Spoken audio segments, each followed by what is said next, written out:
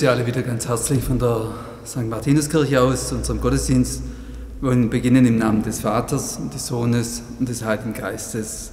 Amen. Wir befinden uns heute auf der Empore der Kirche, deswegen dieser Hintergrund.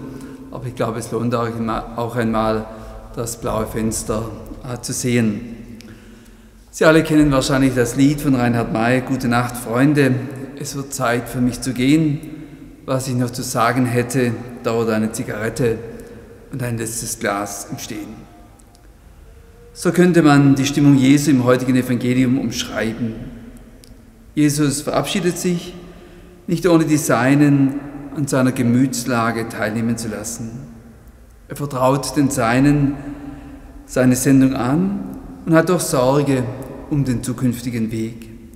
Seine Sorge weht bis in unsere Tage herüber. So wollen wir uns öffnen auf seine sorgende und besorgte Gegenwart.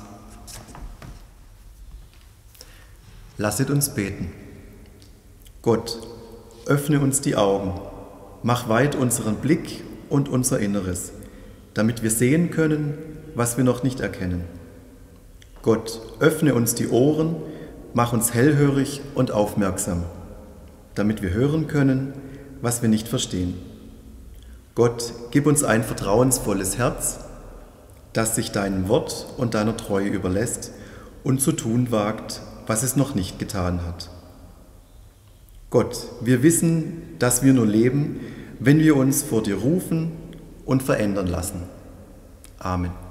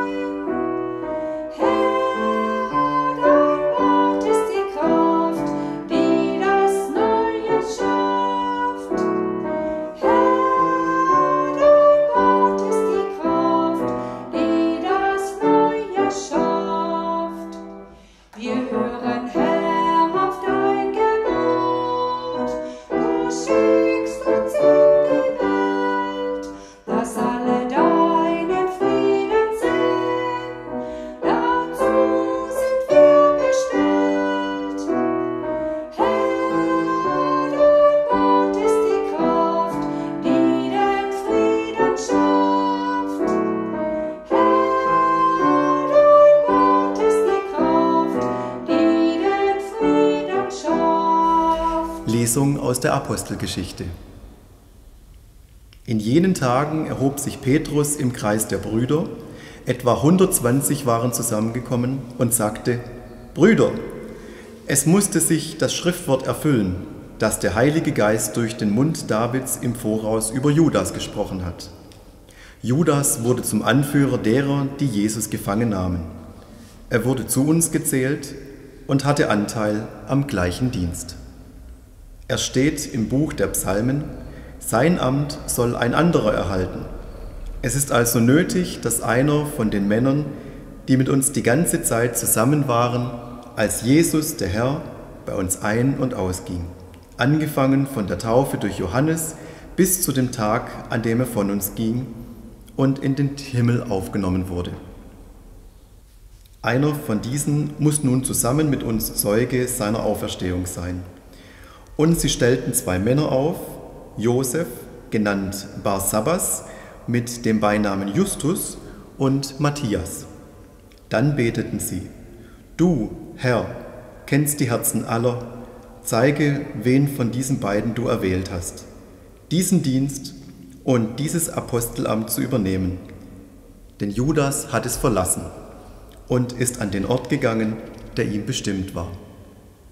Sie warfen das Los über sie, das Los fiel auf Matthäus und er wurde den elf Aposteln zugezählt.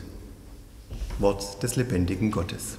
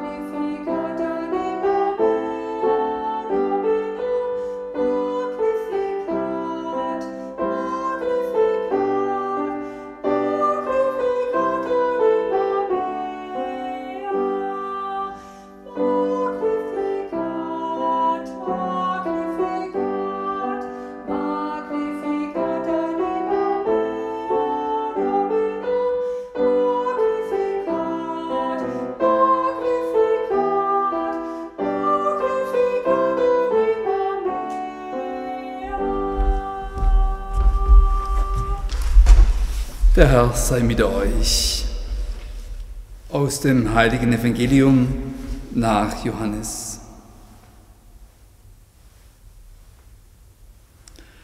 In jener Zeit erhob Jesus seine Augen zum Himmel und sprach, Vater, ich habe deinen Namen den Menschen offenbart, die du mir aus der Welt gegeben hast. Heiliger Vater, bewahre sie in deinem Namen, den du mir gegeben hast, damit sie eins sind wie wir. Solange ich bei ihnen war, bewahrte ich sie in deinem Namen, den du mir gegeben hast. Und ich habe sie behütet, und keiner von ihnen ging verloren, außer dem Sohn des Verderbens, damit sich die Schrift erfülle. Aber jetzt komme ich zu dir und rede dies noch in der Welt, damit sie meine Freude in Fülle in sich haben. Ich habe ihnen dein Wort gegeben, und die Welt hat sie gehasst, weil sie nicht von der Welt sind, wie auch ich nicht von der Welt bin. Ich bitte nicht, dass du sie aus der Welt nimmst, sondern dass du sie vor dem Bösen bewahrst. Sie sind nicht von der Welt, wie auch ich nicht von der Welt bin. Heilig ist in der Wahrheit, dein Wort ist Wahrheit. Wie du mich in die Welt gesandt hast, so habe auch ich sie in die Welt gesandt. Und ich heilige mich für sie, damit auch sie in der Wahrheit geheiligt sind. Die befreiende Botschaft unseres Herrn Jesus Christus. Liebe Schwestern und Brüder, an diesem siebten Sonntag der Osterzeit. Das gehörte Evangelium ist aus den Abschiedsreden Jesu. In den meisten Ländern übrigens wird heute das Fest Christi Himmelfahrt gefeiert. Insofern hat dieses Evangelium hier an diesem Sonntag heute seinen Platz. Aus diesen Abschiedsworten, sie sind eigentlich ein Gebet, lässt sich nur die Sorge Jesu um die Seinen heraushören. Heiliger Vater, bewahre sie in deinem Namen, den du mir gegeben hast. Ich bitte nicht, dass du sie aus der Welt nimmst, sondern dass du sie vor dem Bösen bewahrst. Heilige sie in der Wahrheit.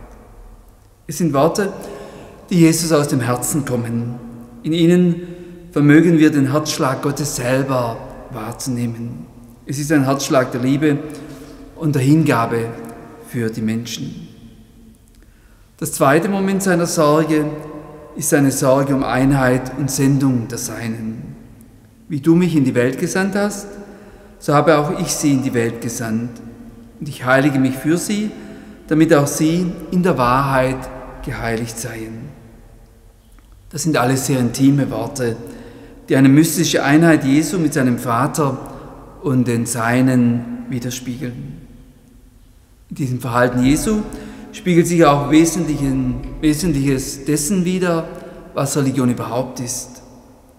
Auf der einen Seite ist Religion etwas Gemeinschaftliches. Die gelebten Hoffnungen und Lebenserfahrungen werden geteilt, ausgetauscht und gefeiert. Dabei wird eine Hoffnung auf Zukunft gestärkt, die gerade nicht in irdischen Vorstellungen aufgeht, sondern diese sprengt und sprengen will. Gerade die Liturgie als die Feier des Gottesdienstes und der Sakramente ist ein Ort, eine Feier, zwar in der Welt, aber nicht von der Welt. Ein Ort, eine Feier, die die Möglichkeit gibt, in eine andere Welt einzutreten. Eine Welt, die das Begrenzte erweitert. Jesus drückt dies sehr markant aus. Ich habe ihnen dein Wort gegeben und die Welt hat sie gehasst, weil sie nicht von der Welt sind, wie auch ich nicht von der Welt bin. Sie sind nicht von der Welt, wie auch ich nicht von der Welt bin. Damit redet Jesus nicht einer Weltfremdheit die Rede, sondern einer gewissen Widerspenstigkeit der Seinen in der Welt. Mit Welt ist hier jene Welt gemeint, in der Unterdrückung, Diskriminierung und Heuchelei die Menschen knebelt. Die Jüngerinnen und Jünger Jesu sind nicht dazu in die Welt gesandt, um in dieser Welt aufzugehen, sondern sie im Sinne des Reiches Gottes zu durchsäuern, Licht und Salz in ihr zu sein. Liturgie verändert in diesem Sinne die Welt, weil Gottes Wort in ihr gefeiert wird.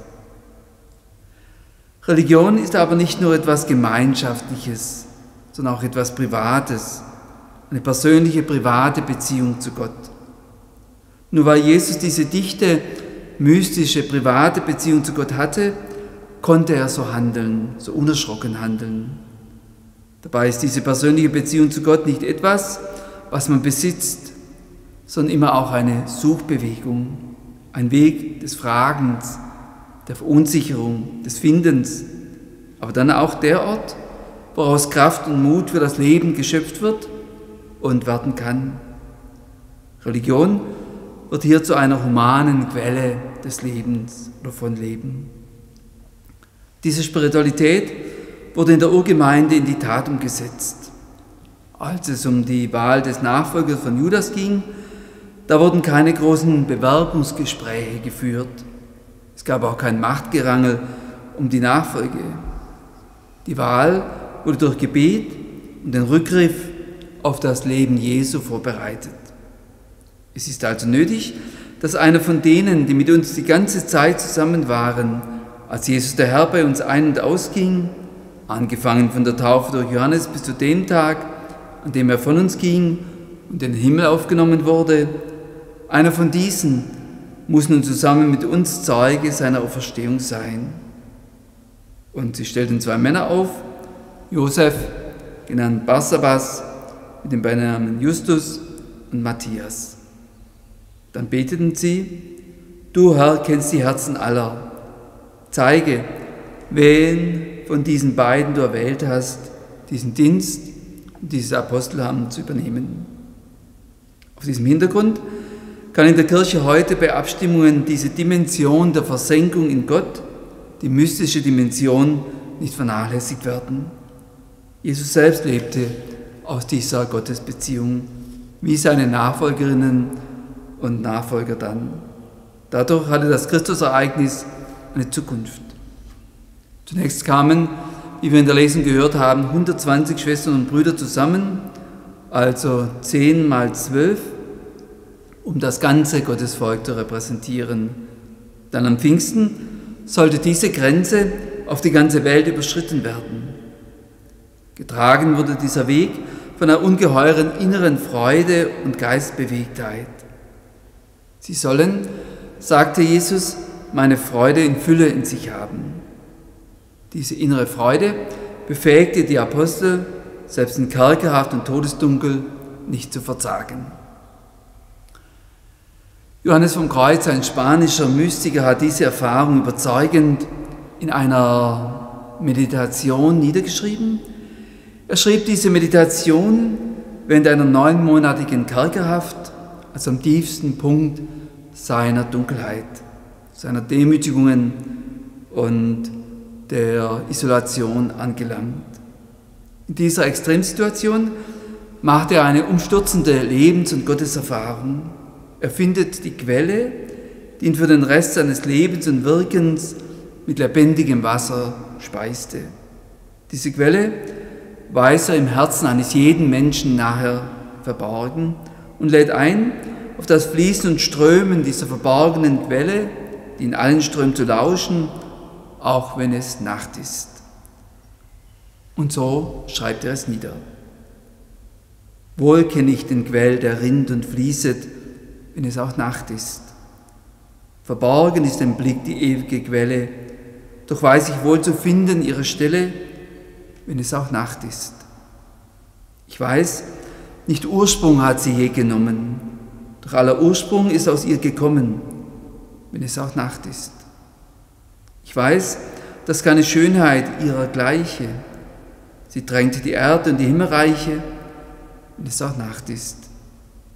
Ins Bodenlose weiß ich, würde gleiten, wer sie beträte, um sie zu durchschreiten, wenn es auch Nacht ist.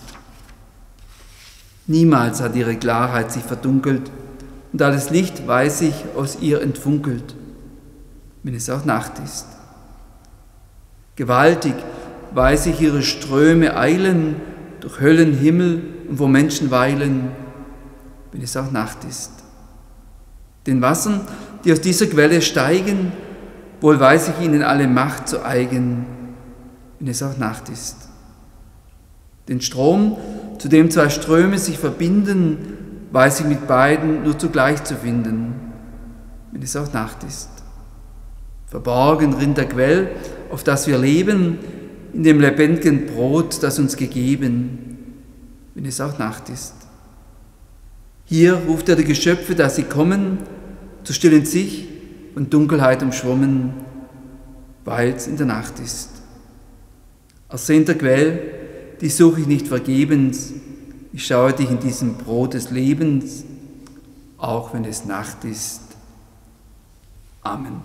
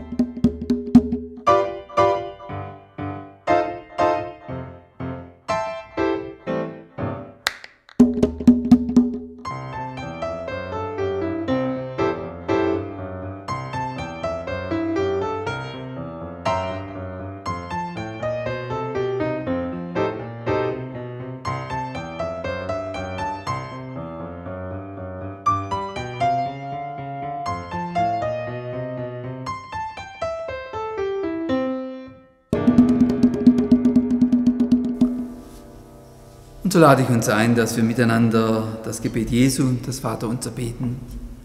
Vater unser im Himmel, geheiligt werde dein Name, dein Reich komme, dein Wille geschehe, wie im Himmel, so auf Erden.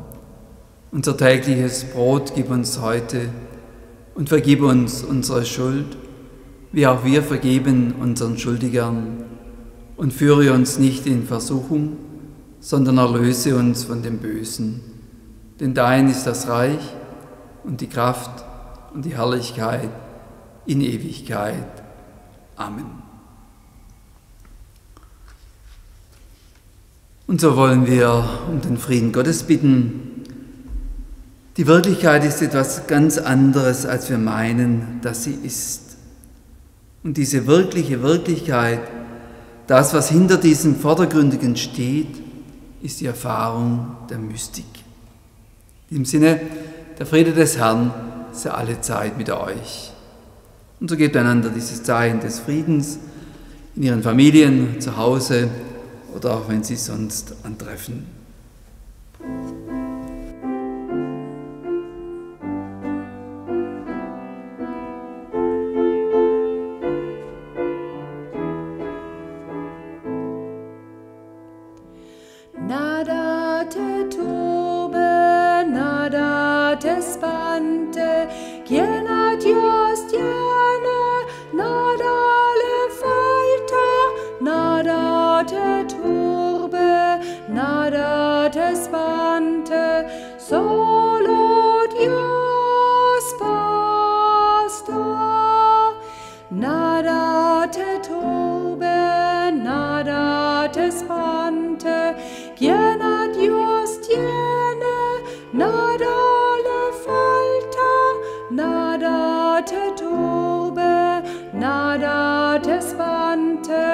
Spante,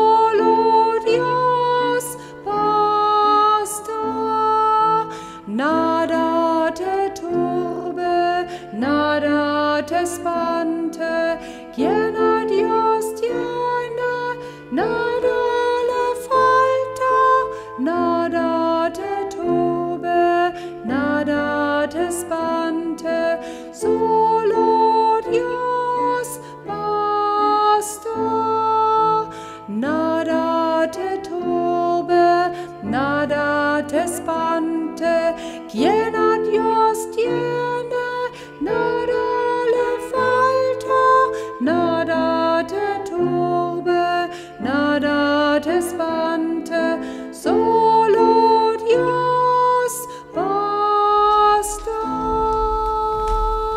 So lasset uns beten. Wie der Hirsch lechzt nach frischem Wasser, so lechzt meine Seele nach dir, Gott. Meine Seele dürstet nach Gott, nach dem lebendigen Gott. Wann darf ich kommen und erscheinen vor Gottes Angesicht? Meine Tränen sind mir Brot geworden bei Tag und bei Nacht. Man sagt zu mir den ganzen Tag, wo ist dein Gott? Ich denke daran und schütte vor mir meine Seele aus. Ich will in einer Schar einherziehen, ich will in ihr zum Haus Gottes schreiten, im Schall von Jubel und Dank in festlich wogender Menge. Was bist du bedrückt, meine Seele, und was ächzt du in mir?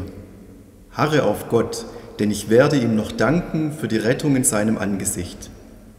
Bei Tag entbietet der Herr seine Huld, und in der Nacht ist sein Lied bei mir. Ein Gebet zu Gott meines Lebens, sagen will ich zu Gott, meinem Fels, warum hast du mich vergessen? Warum muss ich trauernd einhergehen? Was bist du bedrückt, meine Seele, und was ächzt du in mir? Harre auf Gott, denn ich werde ihm noch danken, der Rettung meines Angesichts und meinem Gott. Amen.